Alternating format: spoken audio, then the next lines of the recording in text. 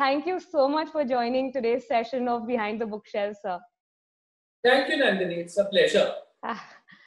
so, your father said that he has four loves of his life family, literature, poetry, and law. In that order, what's your order? Uh, I think, uh, with the exception of uh, philosophy, uh, I, I, I would replace that with classical music. So I would definitely say family first. Uh, it's a very tough one between music and reading, which includes poetry. And like my dad, I think law comes uh, rather poor or distant fourth. But since you've said family, we'll uh, take our first question today with family. So you're essentially a family that reads. Um, you know, you told me uh, a long time back that you grew up in a family that where your parents read to each other, they read to you, and then you read to your parents and to each other as siblings. So uh, could you? So it was basically reading was a solid uh, Seervai household activity, I guess. So could you take us through some of those memories of when you all read to each other? What was the what were the books, and were there any favorites in them? Yeah, so uh, I think I came uh, from a very fortunate family. I, I, don't think I can say unique because I'm sure other people had joint family reading. So basically, uh, because of the age differences between us, my father used to actually read every evening or night uh, to my eldest sister, and my mother used to read to my younger sister and to me. Uh, but on Sundays, which was special, we all five used to be in my parents' bedroom, and uh, this was, of course, in the afternoon, and we do the entire family. So when we were very young, uh, the the typical books that used to be read to us were the books we grew up on. All the four A. Milne, uh, Wind in the Willows by Kenneth Grahame, uh, of course, Alice in Wonderland frequently, and less frequently, Alice Through the Looking Glass. Uh, occasionally, there'd be chapters of Gulliver's Travels, and we had two lovely picture books, which were uh, Japanese fairy tales and Chinese fairy tales. One has favorites, so as young children, we want them repeated, and so those would be repeated. On the other hand, uh, with my mother, uh, as I grew older, and older means starting almost at the age of 8, 9, 10, uh, we went through a lot of literature. We did Dickens, we did Anthony Trollope, we did Walter Scott, uh, we did Thackeray. Uh, I think the first time I read Pride and Prejudice uh, was with my mother as well. And then something happened I don't know whether I should disclose it. So my elder sister left the house when she became a doctor. And so my father used to find himself at the bit of a loose end. So he told mom that uh, I think I'm going to take over Navroz. And so for the last two, three years, till, till this whole thing stopped, um, I used to read with dad. And so we read the books which my mom wasn't too interested in. And just to give one example, my father was passionately fond of Alexander Dumas. So I did all the four uh, novels of Dumas as part of the Three Musketeers series uh, with my father. So that was joint family reading. It was very precious. Uh, and I, I not only remember it fondly, but I, I cherish those memories and those thoughts. That sounds absolutely wonderful. Um, you know, uh, if you all read to each other, I'm guessing a lot of those books were books that were chosen by your parents for you or your sister, you know, sort of chose. So when did you start exploring books of your, uh, you know, of your own volition or, and I mean, were your tastes, did you find them to be different from what you had read as a family or, you know, it kind of flowed into the same genres because you had started liking that? It was both. Uh, and, and I, I would say while my parents did read to us till we were quite old, um, we of course did start reading on our own at 10, 12, 14. Uh, one was by then, of course, in school, uh, middle school. Uh, school had a lovely library. Uh, so there were some books which we read on our own, which weren't read to us by our parents. I fondly remember reading the Bun- Billy Bunter series. I remember reading the William series, which was actually written by a lady. If I remember her name correctly, it was Richmond Crompton. And for years, of course, I thought it was a man till I was pleasantly surprised to find that it had been written by a lady. Um, there were other books as well. Then slowly one graduated to Alistair MacLean's uh, books and then other books like that. Equally, one continued reading. So whereas I read a lot of Dickens with my mother, uh, I've not read all of Dickens with mom. So some of the books I remember I read as I grew older on my own. Uh, I was introduced by my parents to, but read on my own uh, most of the novels of uh, Thomas Hardy. Uh, and then, of course, I also branched off and, and, as I said, read on my own. Initially, these uh, children's books, and then later, uh, adult books, often fiction, and then moving on to history, biography, uh, politics, etc. So it was both. So, uh, you know, sir, of course, these days we all have, uh, you know, access to books on uh, Kindle and um, you can buy them off Amazon and all of that. But, you know, how was your access to books and did you, were you members of libraries and how did that kind of influence your reading style? Because I remember you telling me that you all used to go to a bunch of different libraries, if I'm not wrong. So, could you take, uh, share a little bit about that? So I was saying, uh, of course, I had a, access to a reasonably large collection of books at home. Uh, but I was lucky in the sense that uh, I went to a school which probably had the first uh, open shelf library. And there was a, a, a parent who had actually done a degree in library science. She was an American, she'd done it in America. So she set up the library and she set up systems there. And unlike I believe in many other schools, one could just walk into the library. You didn't need to go to the librarian. You went to the shelf. They were open shelves, so you picked out whatever you wanted. Uh, books, then three. Ultimately, I think it was a maximum of four books. And they were checked out. But in addition to that, I was doubly lucky. My father was a member of the British Council Library, so I became a member at about 17 or 18. My mother was a member of the Asiatic Society, which uniquely allowed 15 books at a time to be uh, withdrawn. And uh, as young students, uh, we were all entitled, free, to be members of the United States Information Service Library, which again for me luckily was conveniently located exactly opposite my father's uh, chamber in on Marine Lines. So I had access to these three libraries. And in early days, and certainly up to college, uh, even as I became a lawyer, the first few years with not much work, etc., I used to frequent libraries. So, sir, uh, you know, uh, some time back when we discussed our reading interests, when I asked you what it, what yours was, I got a very interesting response from you, where you had broken down your reading interest in percentages. Now, I can't, you know, imagine anybody else doing that. You told me, if I remember correctly, 35% was about about was history and biographies, and the remaining 15% was maybe philosophy, economics, and you know, uh, the little bit of a mixed bag. So uh, I'm hoping that you could uh, tell us about your few favorites from these genres in the same ratio of the of the percentages that you broke down. So a few of the fictions, 35%, and so on. but uh, fiction, uh, I've already mentioned some of it yeah. uh, which I was introduced to as a young child, so I won't repeat that. Uh, one goes back to those books once in a while.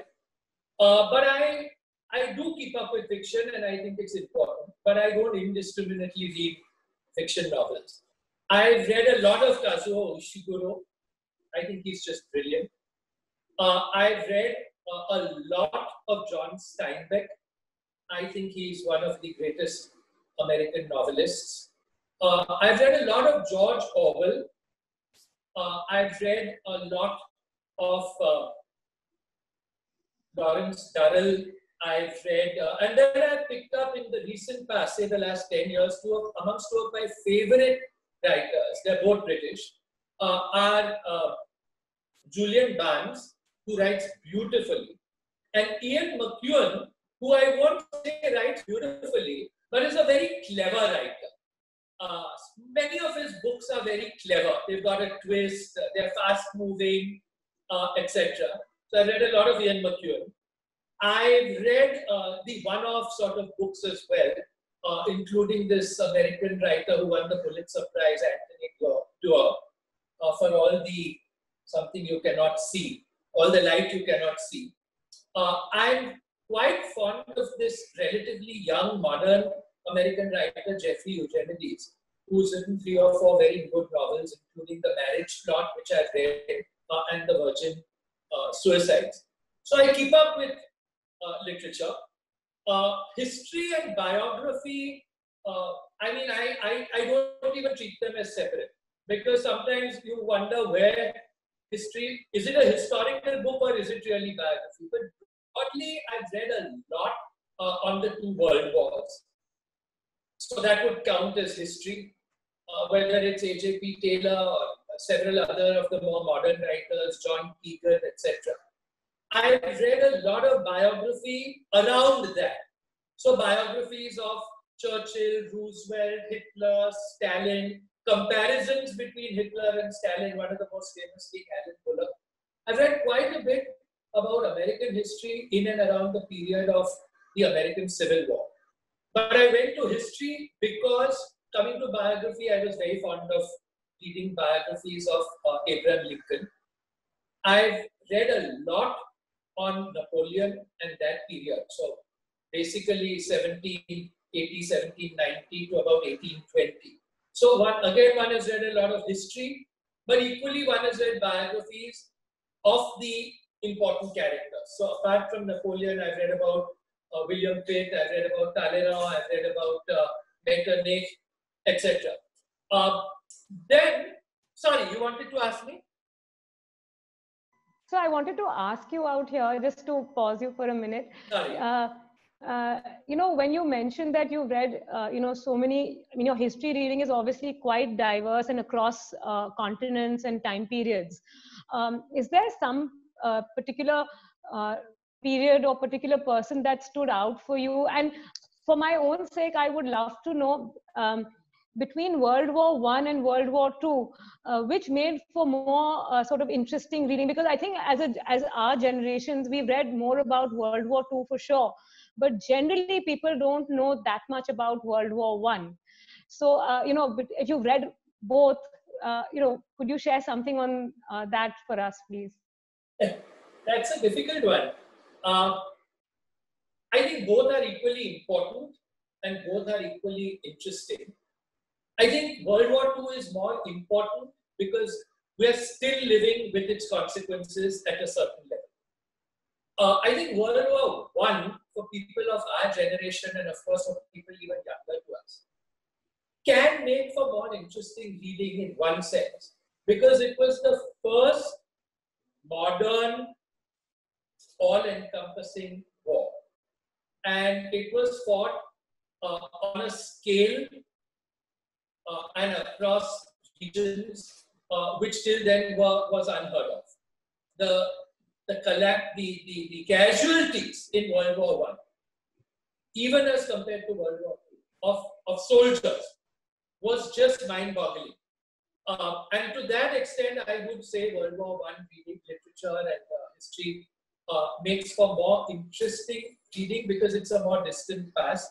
And there's one aspect of it which, of course, uh, I don't know whether the word enduring is correct, but I would say is that it spawned a level of poetry, whether in Germany, France, and certainly in, in England and Britain, which World War II I think did. And amongst the great war poets, uh, the four I can immediately name uh, are Wilfred Owen, uh, Robert Graves, uh, Rupert Brooke, Siegfried Sassoon, for example.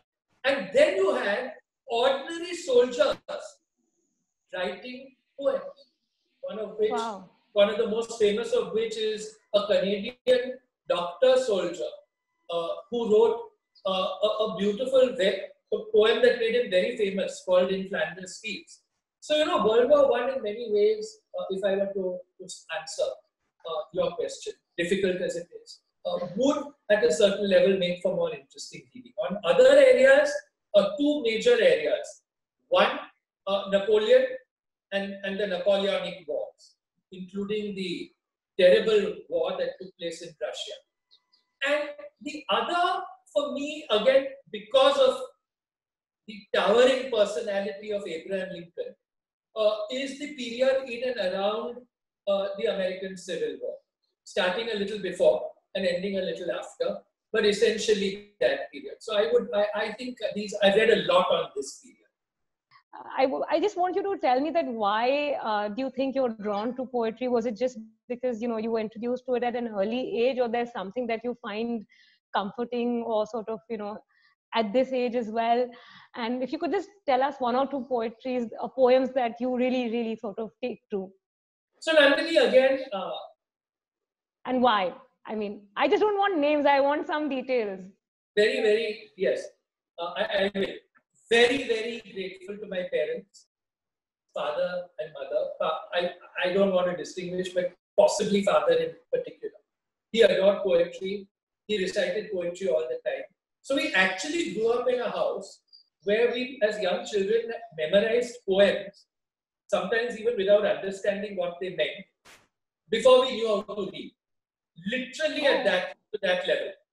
Okay. Uh, it repeatedly recited. Uh, and when you're young, you have a slightly better memory than when you're old.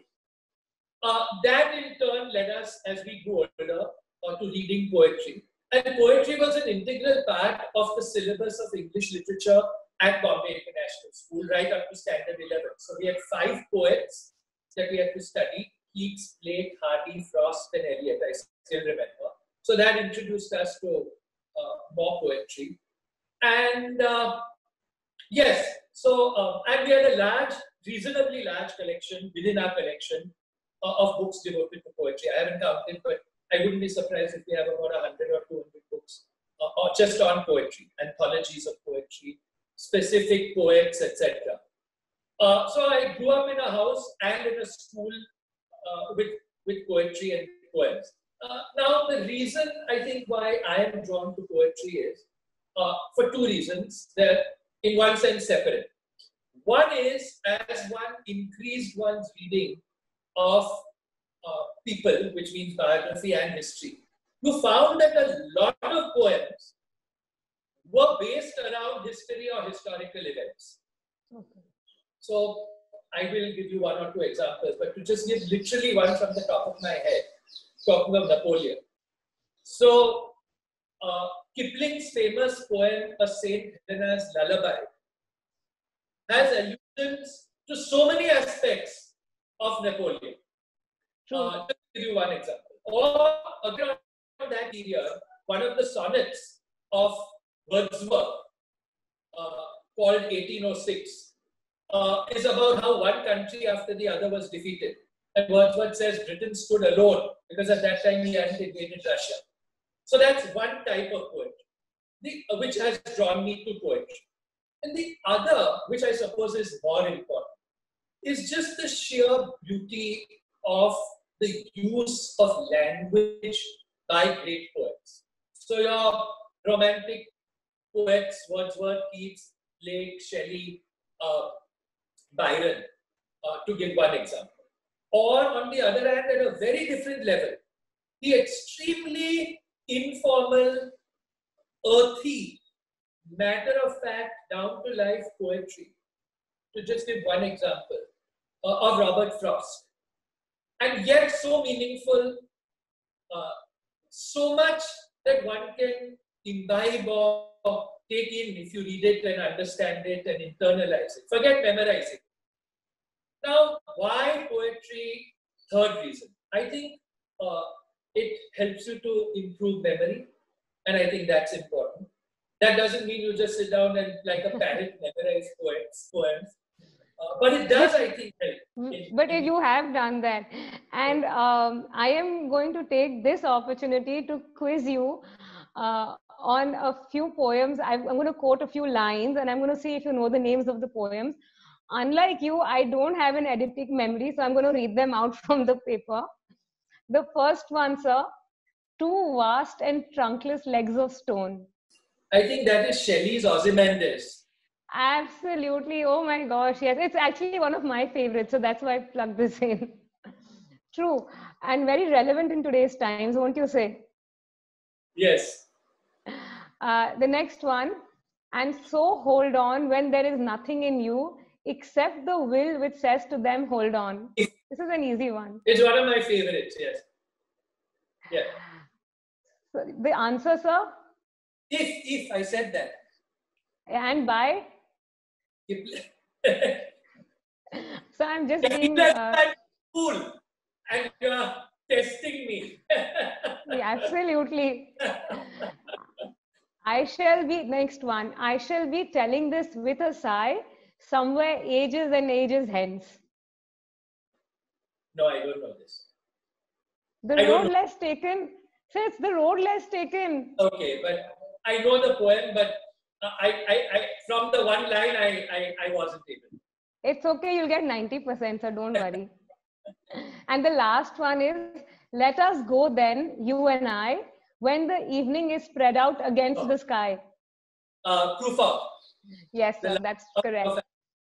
So, sir, very quickly we'll go to our last question before we start the rapid fire because we you know we're running a little short of time now uh, you've read a lot of the classics uh, and you know right from war and peace i believe to wuthering heights to midnight's children so i want you to tell us about just one uh, classic that you think is for all times and then uh, you know you told me about this very interest, uh, interesting anecdote about uh, which uh, connected Tolstoy, Orwell, and Shakespeare.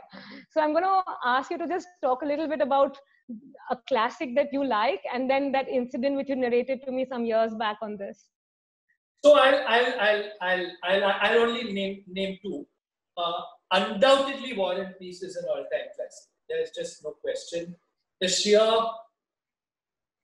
breadth and canvas on which that book is written is, is just awesome. Uh, it's history, it's biography, it, it deals with the country uh, at a period of time uh, which was one of the most epochal times for Russia, the invasion of Russia by Napoleon. Uh, and it is really an all-time classic. I haven't seen the Russian movie. I'm told it's 12 hours. Uh, people say the American one, the Hollywood one, is really not worth seeing, but I have seen that one. But the book is. uh, I would name one more, and then I'll go on to that incident since you say we're running out of time. Uh, I it's a very difficult choice, uh, but if you pin me down to one, yes, absolutely, I, I would say uh, an all-time classic and certainly one of my favorites, uh, Pride and Prejudice. And I don't think it's outdated. I think Absolutely. it's as relevant today in the 21st century as it was 200 years ago when Jane Austen wrote. So uh, Tolstoy, of course, was a great writer, but ultimately his life was uh, ended as a disappointment to him. So uh, George Orwell, whom I also mentioned, whose novels I've read, I happen to have read many of his essays as well. He's a great essayist. He thought he should be remembered as an essayist and not as a novelist. That hasn't yet happened. So one of the essays which I very, very vividly remember from uh, reading, uh, I used to borrow these anthologies from the British Council, uh, is an essay called Lear, Tolstoy and the Fool. And Orwell writes that Tolstoy thought that Shakespeare was a third class writer who really deserved to be thrown in the waste paper basket. And he was surprised that people thought that Shakespeare was a great playwright. Right. And to make out his case, he chose King Lear. And he analyzed King Lear to show what a pathetic play it was, etc. But Orwell analyzed it, that essay of, uh, of Tolstoy's, and it's very beautifully written. He analyzed that the reason why Tolstoy uh, raved and ranted against King Lear was because subconsciously, in the tragedy of King Lear, he saw his own tragedy and his own tragic life. And he ends that essay with these two or three lines. He says, So there it lies in some library. Uh, its pages yellowing, its author, no, unread, and its author unknown. But for the fact that he also happens to be the author of the greatest novel ever written, War and Peace. So that's how he ends it. That's that's fabulous. I, I, you know, I can't believe that you know these nuggets are out there and hardly any of us know about it. But thank you so much for sharing that. So, sir, now we very quickly come to the rapid fire round. Your answers have to be Q E T, quick, entertaining, and truthful. Are you ready for it? Can you be entertaining and truthful at the same time? I, you have to be. okay. Let's start. Okay. Have you read cover to cover all three volumes of Seervai's Constitution? I have not only read them, I have proofread them. have you read all of the 150 poem in your mom's book, 26 January, and other poems? I have not only read them, but I've read some which are not in that book. Okay. Uh, what do you prefer, the next three? Seervai's constitution or Seervai's partition? now that's, may I say that's almost a naughty question. Uh, I prefer partition because it's history. Uh, yeah. But I mean, I must say that obviously my dad's more important and lasting uh, testimony to him. Sir, no, you don't have to justify that. So you don't have to justify it. But yes, to, uh, I prefer reading. Uh, we just want answers. We want no justification. This is a cross almost. Sorry. R.K. Narayanan or Vikram Seth? I know you like both. Vikram Seth. Um, okay, choose between your favorites Ishiguro, Jane Austen, or Thomas Hardy if you had to choose one. I know what you will choose, but I, I, still want to hear it. Austen. I thought you would choose Ishiguro, but I'm happy you said Austen. A book or an author that your kids have recommended and you loved, and a recommendation that you gave to your kids and they hated. uh, a book they recommended. So my daughter recommended this author, very clever young American, Jeffrey Eugenides. And she recommended I start with his first book called The Marriage Plot, which is about couples, uh, young students who just graduated from the college he used to go to, which also my daughter went to, which was Brown University. And it's about uh, their lives and their relationships, having just finished and graduated from Brown. And I liked it very much. Uh, so I was happy that my daughter recommended it. Uh, books that I have recommended and they've hated, you take your pick. Dickens, Thackeray, Trollope, the lot. Fair enough. Do you know what is slam poetry? No. I'm okay, afraid. it's basically performance. It may not be rhyming in verse, but it's basically performance poetry. Do you know what a haiku is? Yes, I, I do. It's a Japanese thing of uh, it, 17 syllables or something, 18 syllables. And I, I must confess, the reason I know it, I'd heard of it, is that when I uh, threw a party a few years ago, my daughter was that time in India, she said, let's do the invitation in the style of haiku. Haikus, yeah. it to those 17 syllables. So that's when I really got into haiku. A book genre that you wish you can uh, you had read or you want to read? You know, I've always wondered whether I've missed out in uh, reading science fiction. Mona's read quite a lot. Many other friends and colleagues. Uh, a man who reads voraciously is now, of course, a judge of the Bombay High Court, but he was a, he's a good friend. Uh, and, and, at that time, he used to tell me about it, uh, uh, which is Asimov and other science fiction yeah, writers. You're talking about Justice Patel then?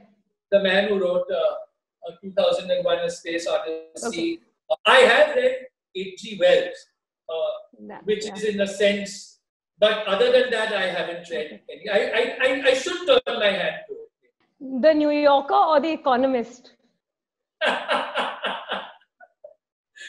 know, there are different types of.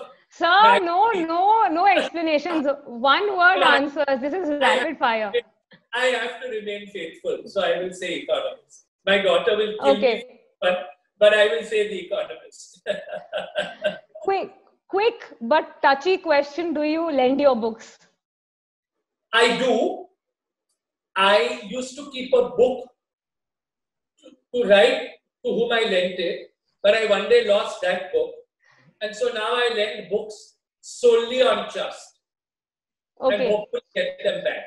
So, as you know, lawyers learn from experience. So, uh, Darius had very smartly lawyered out in this answer, in the last rapid fire answer. So, I am excluding Kindle from this option.